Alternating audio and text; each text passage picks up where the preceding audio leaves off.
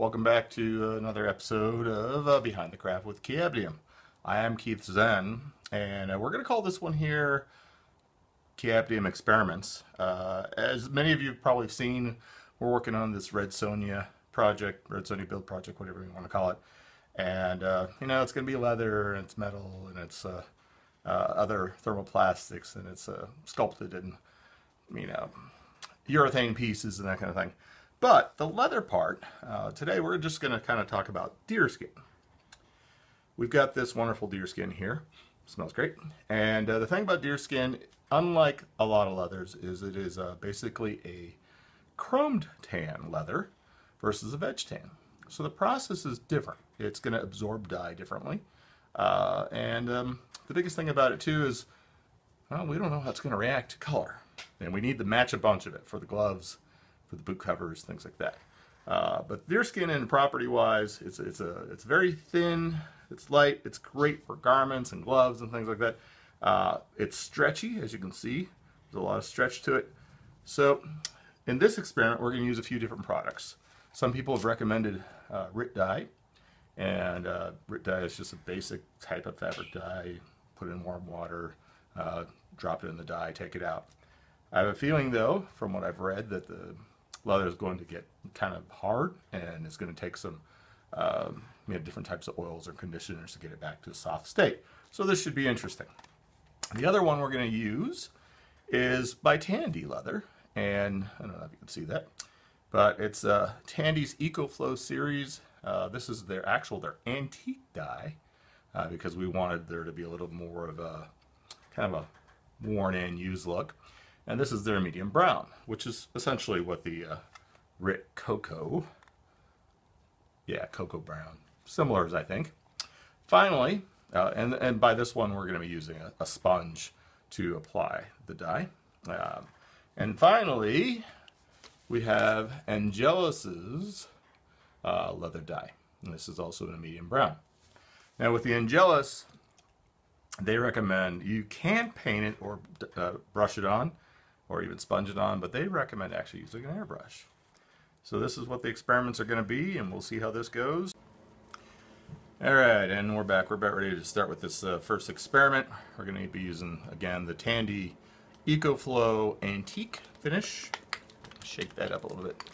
Shake, shake, shake, shake. Uh, also, um, I like to use, see if you can see it. Ah, there we go. Um, renewal wedges, you, these are basically just cosmetic sponges. Uh, you can get them almost anywhere. Rite Aid, CVS, Walgreens. Um, they work pretty well uh, because, now these aren't the round ones, these are the little kind of triangular ones. They work pretty well because uh, they absorb dye well, uh, they don't leave a lot of streaks, and um, you can just, just kind of dab and pat and dab and pat. Works pretty great. Okay, so we're back here. Hopefully uh, you can see this leather here. And like I mentioned before, I've got the EcoFlex. So we're going to go ahead and put a little bit of this on the EcoFlex. If you hear any other noises, that is just Abby also working on stuff. She is just passed through. Hi.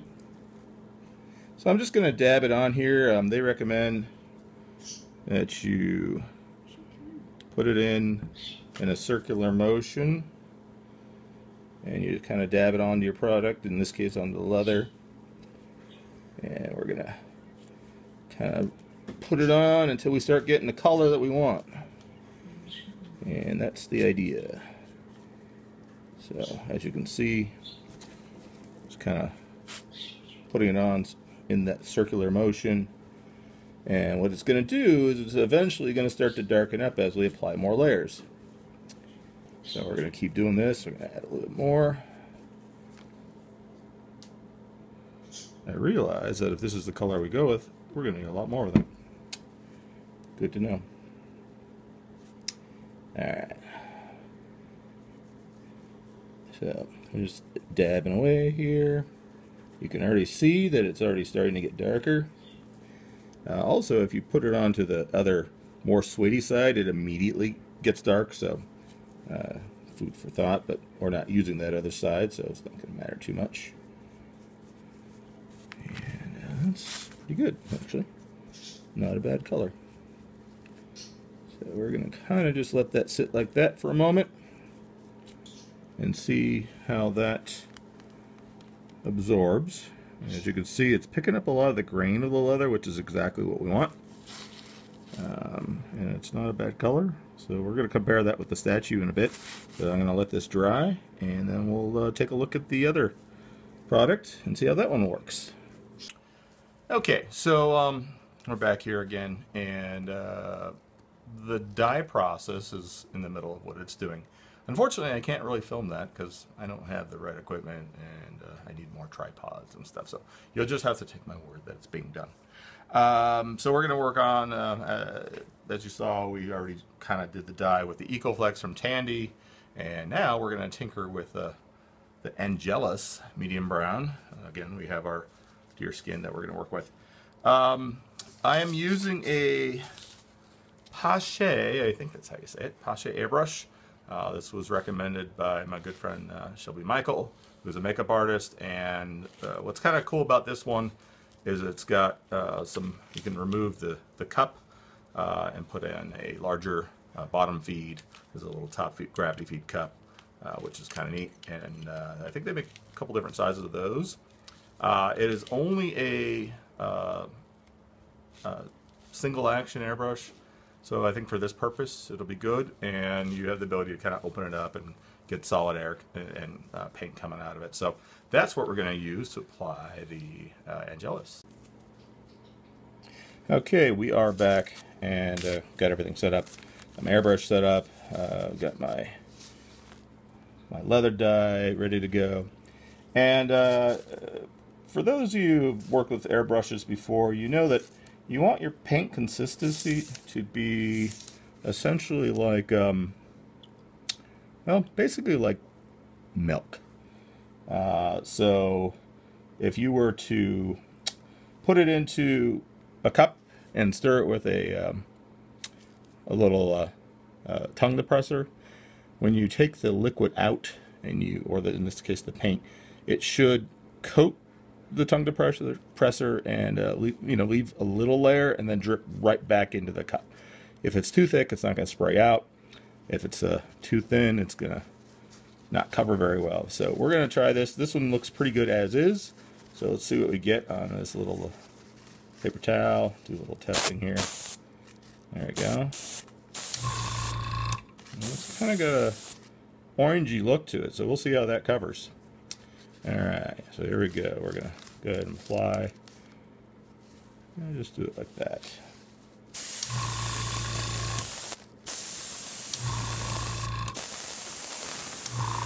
Sorry for the sound of the compressor.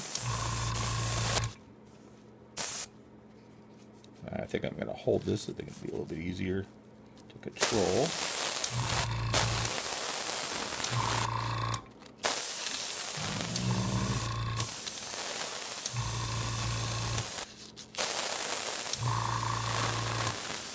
The thing with Angelus paint is you can build it up and uh, so you can get a darker effect the more layers you put on.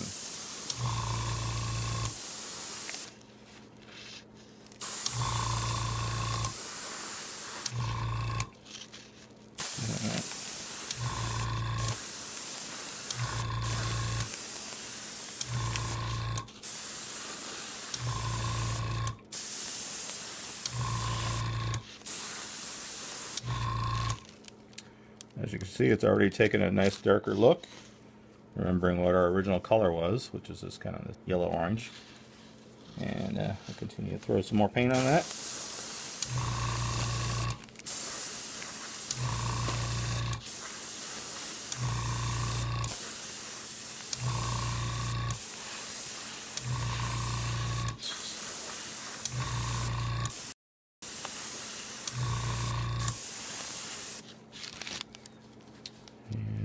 it's kind of come along.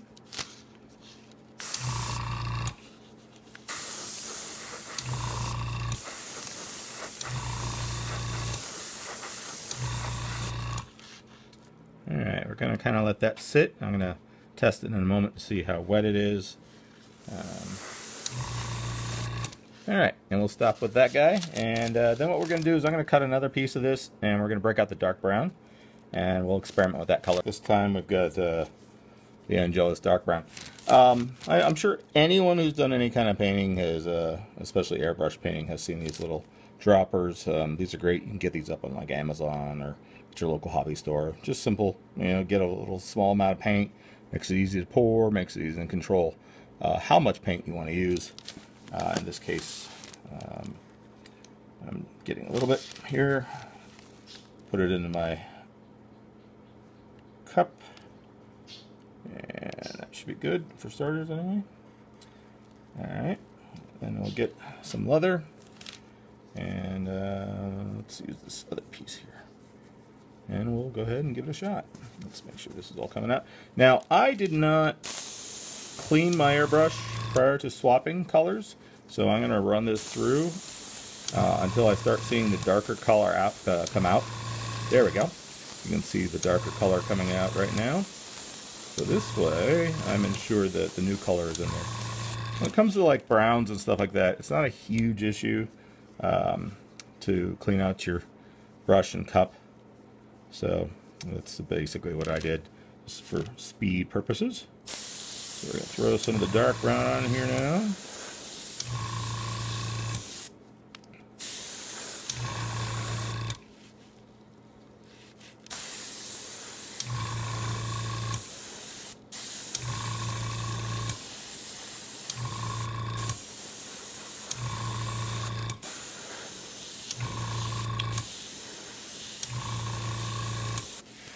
Things I should mention about An Angelus, uh, some of you guys have probably heard of them. Uh, they do essentially leather paint uh, is what they're known for, and it's amazing, amazing stuff. Um, I've used everything from, uh, you know, the leather paints that you can get at your local hardware store. Uh, what is the other stuff called? Uh, New Life.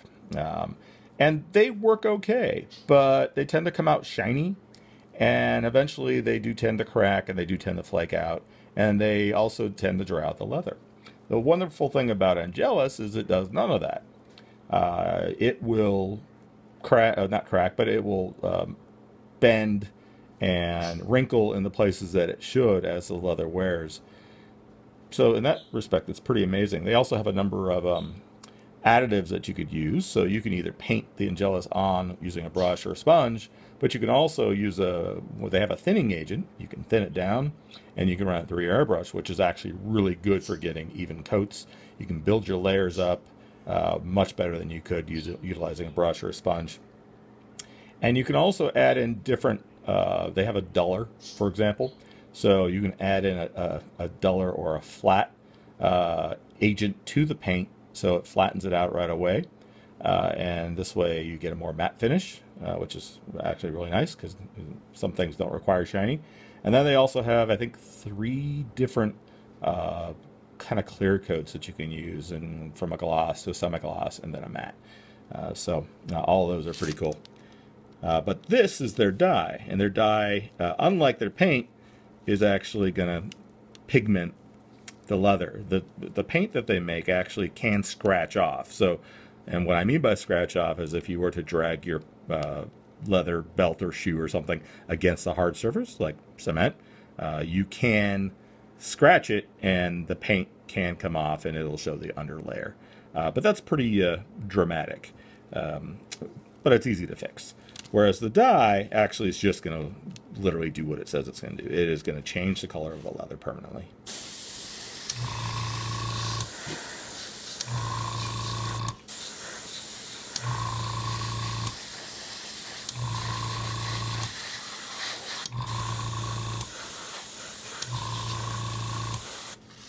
And with that, I will be back in a moment.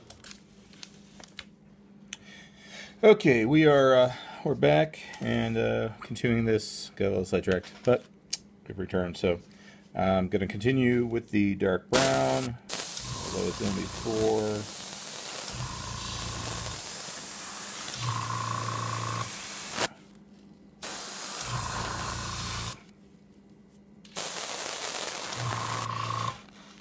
Let's open this guy up a little bit.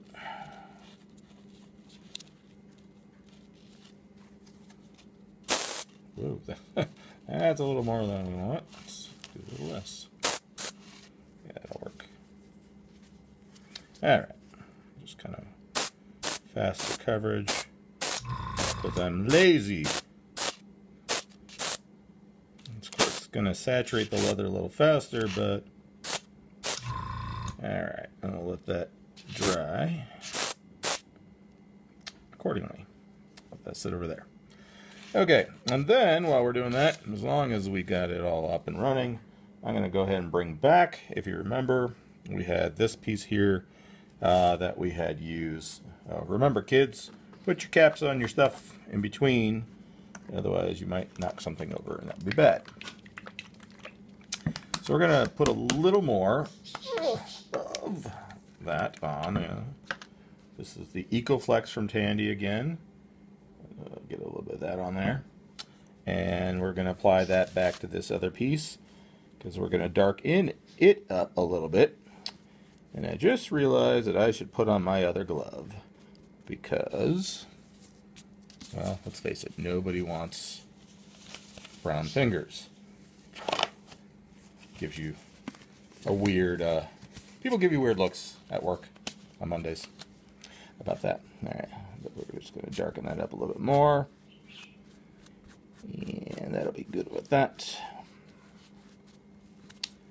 A little more that.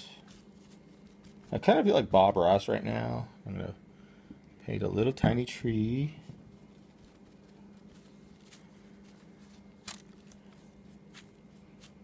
Little, little tree. Little tree and uh, back it off a little bit. And it'll give us our basic basic look. And like I said, we got this great stuff here. I am really liking um, the EcoFlex Antique.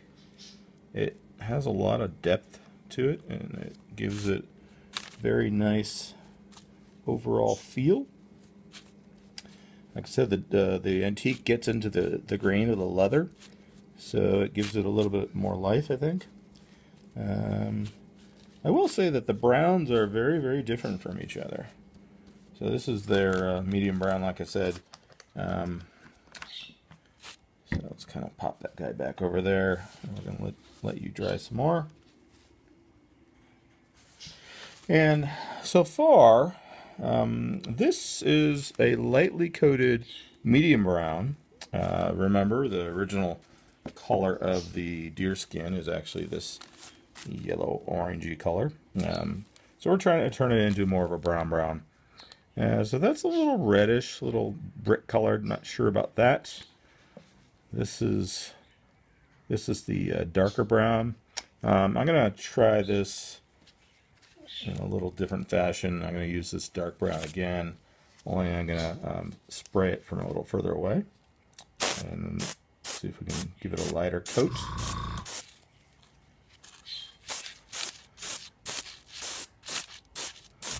So we don't get so much color right out of the gate.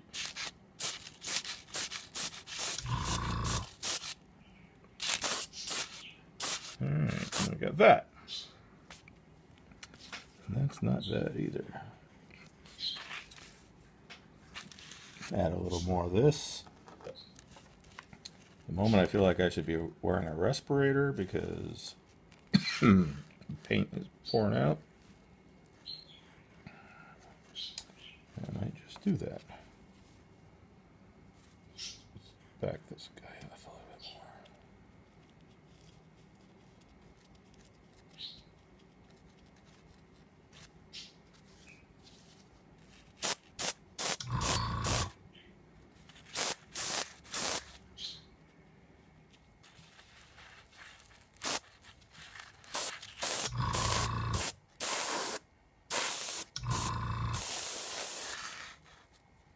Hmm. We're going through all that paint? That was quick.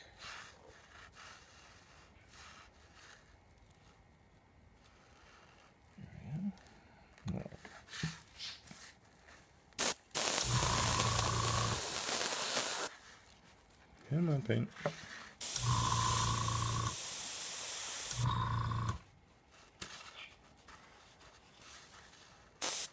Too much.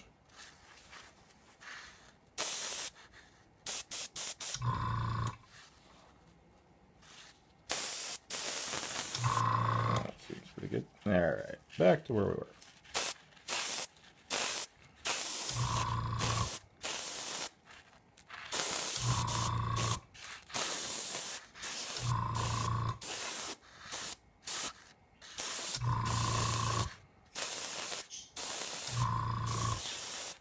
So by going in this, uh, backing up a little bit, we can control how dark of a brown we got it.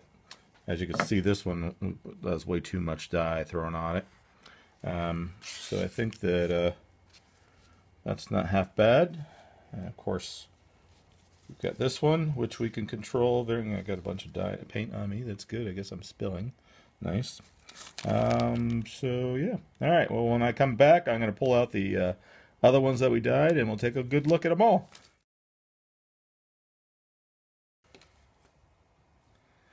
Okay, so um, we're back, and uh, most of this test is uh, basically concluded with a few things.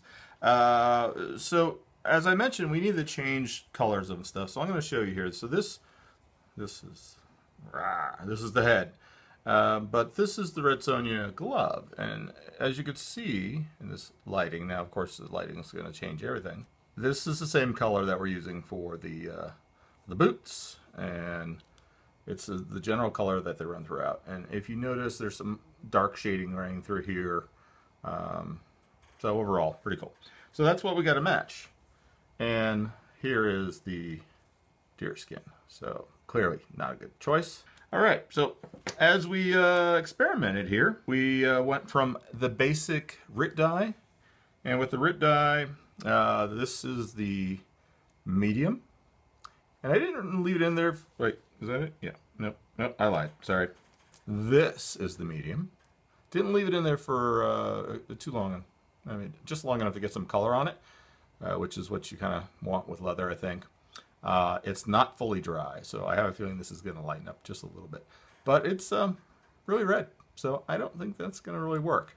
And we haven't determined how dry this is going to, like, like if it's going to get hard when we're done. All right, move that out of my face. It doesn't look like I have a, a booger or something. Anyway, all right, so we got that. Um, so I switched to the dark brown RIT, and um, that is a much, much, much better choice. In fact, it's really, really close. I think we could be pretty happy with that. What do you think? I think that's pretty good. I'm putting that in my nose again. All right. Um, and uh, it's pretty good. Once again, it's still wet, so it's gonna it's gonna definitely uh, change a bit. It's probably gonna lighten up, but this is my mask. Um, but I think that's pretty cool. And you can see a lot of the grain that's going on there and whatnot. So that could work, but we'll find out. This still needs to dry. The other test, uh, we experimented with uh, the Angelus, and we used the Angelus uh, medium brown, and we use that with an airbrush. And uh, essentially, this is a, a few layers of this.